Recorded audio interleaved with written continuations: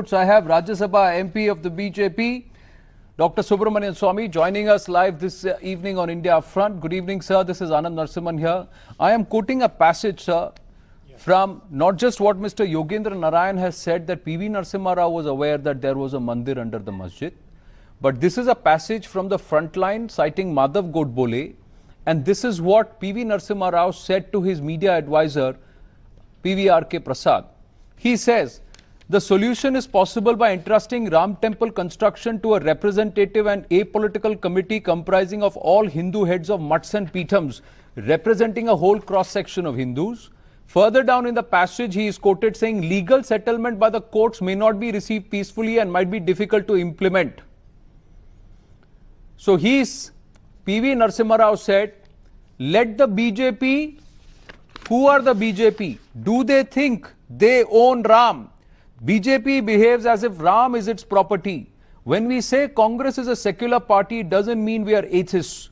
Lord Ram is our God as well. We pray to him just as they do. How far are they justified in hoodwinking people and monopolizing Lord Ram? They played a game, sir. Yes. Now, eh, my response is this, that first of all, you must know that Narasimha Rao and I were friends for a long time. I was in fact holding a cabinet position uh, as the chairman of the uh, GATT commission as it was called, dealing with WTO uh, during his uh, tenure. And when the Babri Masjid uh, uh, demolition was happening, I, I spent hours with him. I would say the, the documented truth is the following. The Supreme Court asked Narasimha Rao government in 1994, 1993 or so, uh, after the demolition, what is your solution to this problem? And uh, he was asked to file an affidavit. So the Solicitor General filed an affidavit which is reproduced in the Supreme Court's uh, judgment Faruqi versus the Union of India, published in the Supreme Court uh, uh, Journal, uh, SCC, in 1994, where the Narasimha Rao government says that if it is ever proved that there was a pre-existing, not a demolition, but a pre-existing temple uh, to the masjid, that is, that there was a temple before a masjid, then we will hand over this land to the Hindus. In my opinion, that is sufficient for the Supreme Court or the, any government to immediately hand over the government land which is mostly under the central government uh, authority. It was uh, taken off, uh, it was nationalized during that period and except for a small disputed area where they, we hold that Ram was born, the rest of it belongs to the government. So the, any government acting on this commitment on affidavit, sworn affidavit of the Congress government of Narasimha Rao should have handed this land for building a temple. And all this delay was totally unnecessary. No, not just that, Dr. Swamy. Mr. PV Narasimha Rao always knew there was a mandir, sir. The Congress party, not just Mr. PV Narasimha Rao, yes. the other leaders who are even leaders yes. right now were aware that there was always a mandir. They played this game saying let the right. BJP demolish the masjid and we will then later on build the mandir. Brand the BJP communal, win over the Hindus. This was the political game that was played. Yeah, well, it is uh, clearly was a political game and the BJP walked into it.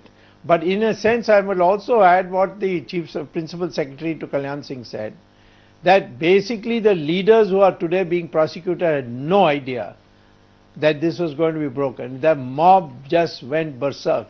You, uh, uh, you assemble three, four lakh people in a highly emotive stage, you can't expect them uh, to be controlled uh, with only a riffraff uh, uh, police of, of the UP government.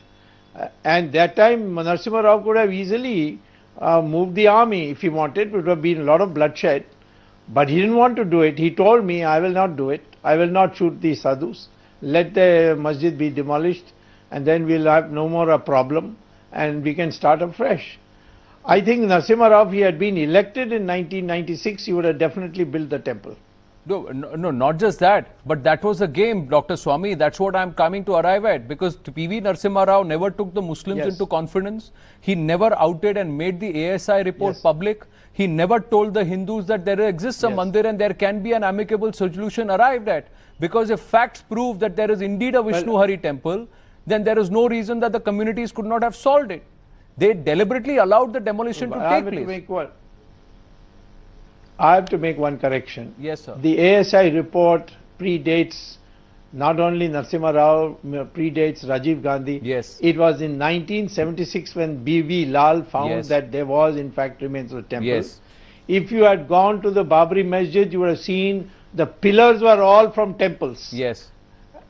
It was uh, o- o- open, uh, you know, available. Uh, the site was available to the open naked eye.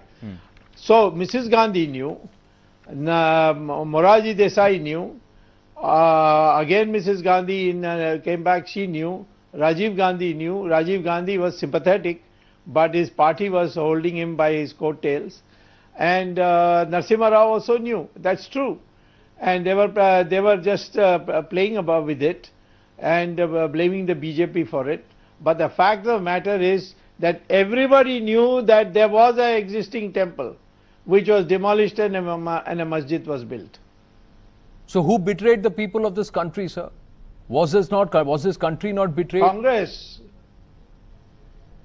absolutely, if uh, there would have been never uh, uh, Babri Masjid demolition, and if this confrontation had, uh, this fact had been told to the Muslim mullahs, their own Quran says you can't build in a disputed area a masjid, and they would have agreed to shift it. Could have been solved uh, the, um, much earlier.